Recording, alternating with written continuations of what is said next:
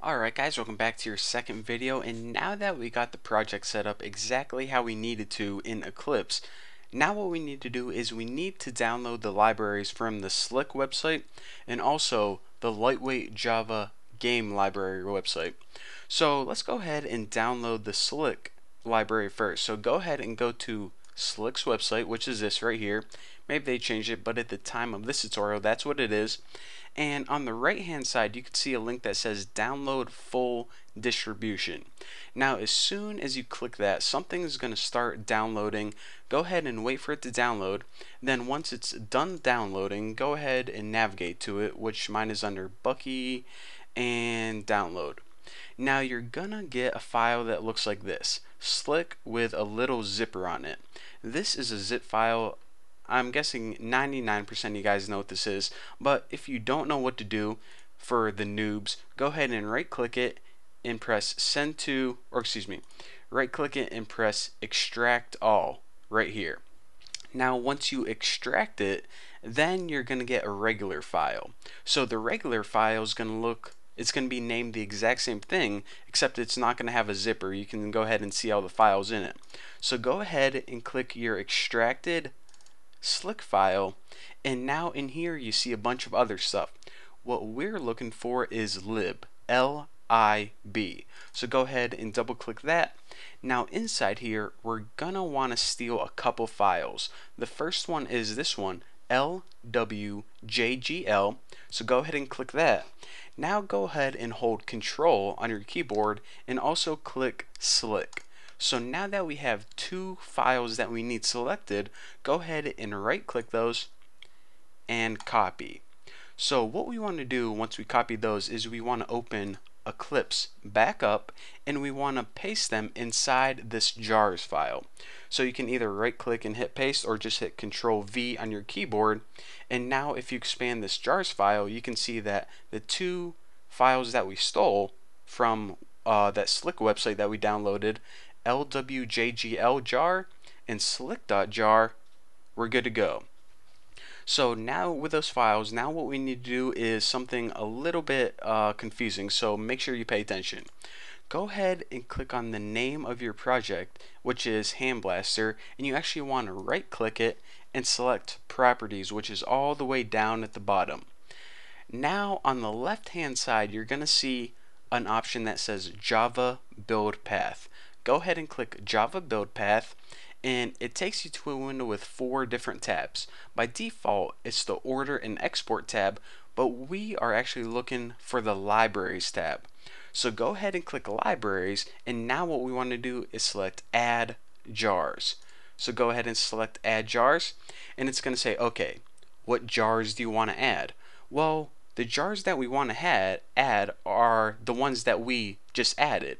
So those are under your uh, Handblaster, and you can probably see this if you look on the left hand side. But go ahead and expand lib, then jars, and now select both your jars by selecting one, hitting select, and selecting both of them. And make sure you have both of them selected, and once you do, you can go ahead and hit OK. So now both of those jars are going to be apparent or viewable right in this section right here if you didn't if you can't see both of them in this window right here then go ahead and hit add jars and make sure you add the other one. And now once you're done with this just go ahead and hit OK. So now that we took care of that well okay I might as well do it in this tutorial since we have time. Now what we need to do is we need to download the crap from the other website which is the lightweight Java gaming library website so whenever you go to this website, which is lwjgl.org, on the left hand side, you're going to see a link that says download. Go ahead and click that, and it's going to say latest stable release is 2.8.3. If there's a newer version, just go ahead and download the newer version. This tutorial is going to work, but go ahead and click this. Now, once you click that, you're going to be taken to a web page with a bunch of different options the source, the docs, the zip, or the applet. Which you want is the main file, LWJGL, not the, not the docs, not the source, not the applet, the main file. And you can see that this is the one that most people are downloading because this little chart on the right hand side has the popularity and you know evidently this one is has the biggest graph, it's the most popular. So go ahead and click this and it's going to download that zip file for you. I of course downloaded already to save time. You don't want to, you know, sit here and watch me download files all day.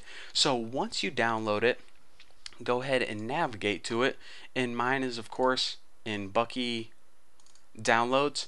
And you're going to get a zip file, so go ahead and right click extract all and once Windows is done extracting your file you're going to get a regular file that's LWJGL 283 or whatever version you have so now what you want to do is you want to open up this file open up this one and you want to open up the folder that says jar so go ahead and select jar.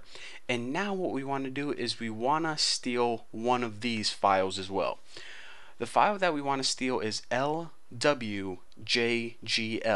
So go ahead and right click right click this one, hit copy, and then go ahead back inside Eclipse. Now where you want to put this is inside your jar you see that you already have a file lwjgl well go ahead and just uh, highlight the folder jars and paste it. And it's going to say whoa you already have a file called this. Do you want to overwrite it? Just go ahead and say yes to all or yes. And it's going to overwrite that with the proper um, jar file that we want. So now the last thing that we need to do is back in your extracted file let me uh, minimize this so it's easier to see. Back in your extracted file, LWJGL, the one that you downloaded and extracted, go ahead and click this again. Now, instead of jar, what we want to do is we want to open native. Now, once you open native, you're going to see all of the folders that say Linux, Mac, Solaris, Solaris, whatever the heck that is, and Windows. Go ahead and select all of those folders, right click, and copy. Now the last thing that we're going to be doing in this tutorial is pasting these back in the section in Eclipse. What section you ask? The native section. So go ahead in your Eclipse project where it says natives, select this and paste it. And now once you expand natives, check it out. It says Linux, Mac, Solaris, and Windows.